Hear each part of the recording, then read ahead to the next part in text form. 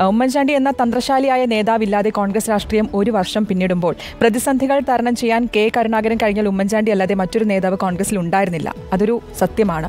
ഉമ്മൻചാണ്ടിയുടെ അഭാവം സ്ഥാനാർത്ഥി നിർണയം മുതൽ പുനഃസംഘടനയിൽ വരെ വെല്ലുവിളി സൃഷ്ടിച്ചിട്ടുണ്ട്. നമുക്ക് ആ റിപ്പോർട്ട് ഒന്ന് കണ്ടിട്ട് വരാം. കലുഷിതമായ രാഷ്ട്രീയ സാഹചര്യങ്ങൾ ആശങ്കയില്ലാതെ മറികടക്കാൻ ഉമ്മൻചാണ്ടിക്ക് പ്രത്യേക കഴിവായിരുന്നു. കെ കരുണാകരന് ശേഷം കോൺഗ്രസിന്റെ അമരക്കാരനായിരുന്നു ഉമ്മൻചാണ്ടി. തന്ത്രശാലിയായ ഈ നേതാവിന്റെ അഭാവം കോൺഗ്രസിനെ വല്ലാതെ ഉലച്ചിട്ടുണ്ട്. കോൺഗ്രസ് രാഷ്ട്രീയത്തിൽ ഉമ്മൻചാണ്ടിയില്ലാത്ത ഒരു വർഷം ഒരു പതിറ്റാണ്ട് പോലെയാണ്. സീറ്റ് വിഭജനം മുതൽ സ്ഥാനാർത്ഥി നിർണയം വരെ തർക്കങ്ങളില്ലാതെ കൈകാര്യം ചെയ്യുന്നതിൽ ഉമ്മൻചാണ്ടിയുടെ പ്രാവീണ്യം എടുത്തു പറയേണ്ടതാണ്.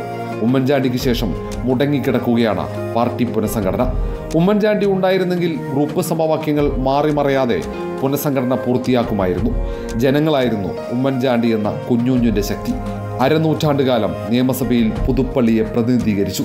മുഖ്യമന്ത്രിയായും പ്രതിപക്ഷ നേതാവായും സഭയിൽ കോൺഗ്രസിന്റെ നാവായി മാറി. സഭയിലും ഉമ്മൻചാണ്ടിയുടെ അഭാവം യു ഡി എഫിനെ വല്ലാതെ അലട്ടുന്നുണ്ട്. രാജ്യസഭാ സീറ്റ് വിഭജന ഘട്ടത്തിൽ ഉമ്മൻചാണ്ടിയുടെ അസാന്നിധ്യമാണ് കോൺഗ്രസിന് തിരിച്ചടിയായത്. ഉമ്മൻചാണ്ടി ഉണ്ടായിരുന്നെങ്കിൽ മുസ്ലിം ലീഗിന് ഒരു സീറ്റ് വിട്ടു നൽകേണ്ടി വരില്ലായിരുന്നുവെന്ന് സഹപ്രവർത്തകർ പറയുന്നു. മുന്നണി നേതൃത്വം കൈകാര്യം ചെയ്യുന്നതിൽ ഉമ്മൻചാണ്ടിക്ക് പ്രത്യേക കഴിവാണെന്ന് പ്രവർത്തകർ പറയും. പി കെ കുഞ്ഞാലിക്കുട്ടി മുതൽ ഷിബു ബേബി ജോൺ വരെ യു ഡി എഫിലെ നേതാക്കളിൽ ഒരാൾ പോലും ഉമ്മൻചാണ്ടിയുടെ വാക്ക് ധിക്കരിക്കില്ല.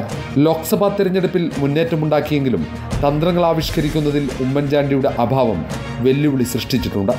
പാർട്ടിയും മുന്നണിയും അടുത്ത നിയമസഭാ തെരഞ്ഞെടുപ്പിന് ഒരുങ്ങുമ്പോൾ കൗശലക്കാരനായ രാഷ്ട്രീയക്കാരന്റെ അസാന്നിധ്യമാണ് നേതൃത്വത്തെ വല്ലാതെ ആശങ്കപ്പെടുത്തുന്നത്.